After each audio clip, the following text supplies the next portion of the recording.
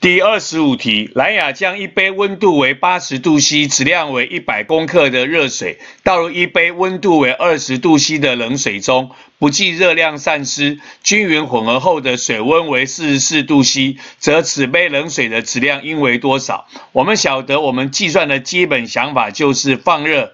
会等于吸热加上散热，而这一题没有散热，而怎么算热呢？公式叫做 H 等于 m s 调塔 T。谁会放热？高温的会放热，八十度 C 的放热，质量是一百公克，比热是一，温度变化。我们用的是相等等号，所以用的是高温减低温。初温是八十度，末温是四十四度，所以高温减低温是八十减掉四十四，等于谁吸热？二十度吸的水吸热，质量不知道，比热是一，温度变化一样用高温减低温，四十四减掉二十，所以这里就变成一百乘以三十六。